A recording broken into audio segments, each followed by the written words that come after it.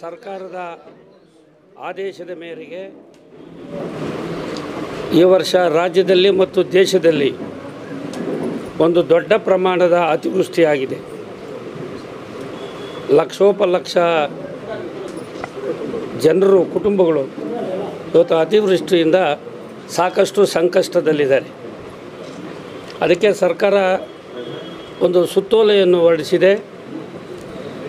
ಜಿಲ್ಲಾ ಮತ್ತು ತಾಲೂಕು ಕೇಂದ್ರಗಳಲ್ಲಿ ಮಾಡ್ತಕ್ಕಂಥ ಯಾವುದೇ ಜಯಂತ್ಯೋತ್ಸವಗಳು, ಹದಿನೆಂಟು ಹತ್ತೊಂಬತ್ತನೇ ಸಾಲಿನಲ್ಲಿ ಬರತಕ್ಕಂಥ ಎಲ್ಲ ಜಯಂತ್ಯೋತ್ಸವಗಳು ಕೂಡ ಸರಳವಾಗಿ ಆಚರಣೆ ಮಾಡಬೇಕು ಅಂಥೇಳಿ ಸರ್ಕಾರದ ಆದೇಶದ ಮೇರೆಗೆ ಇವತ್ತು ನಾವು ಕೂಡ ಹೊಸಕೋಟೆ ತಾಲೂಕಿನ ತಹಸೀಲ್ದಾರ್ ಕಚೇರಿಯಲ್ಲಿ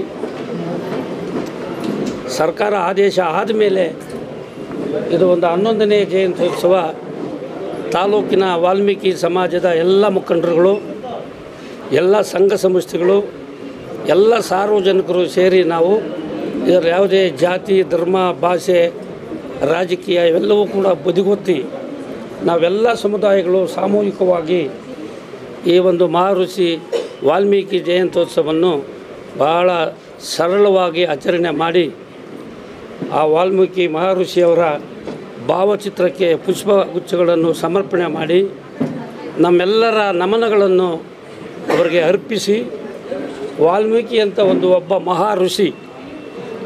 ಮತ್ತು ಈ ಸಮಾಜದಲ್ಲಿ ಹುಟ್ಟಿ ಬರಲಿ, ಈ ಸಮಾಜಕ್ಕೆ ಅವರ ಒಂದು ಮಾರ್ಗದರ್ಶನ ನಮ್ಮೆಲ್ಲರಿಗೂ ಆಗಲಿ ಅಂಥೇಳಿ ಅವ್ರಿಗೆ ಹಾರೈಸಿ, ಅಭಿನಂದಿಸಿ ನಾವು ಈ ಸಂದರ್ಭದಲ್ಲಿ ಅವರಿಗೆ ಈ ಜಯಂತ್ಯೋತ್ಸವ ಪರವಾಗಿ ಸಮಸ್ತ ಆ ಸಮಾಜ ಮತ್ತು ಎಲ್ಲ ನಾಗರಿಕ ಬಂಧುಗಳಿಗೂ ಕೂಡ ನಾನು ಶುಭಾಶಯಗಳನ್ನು ಕೂಡ ಬಯಸ್ತೇನೆ.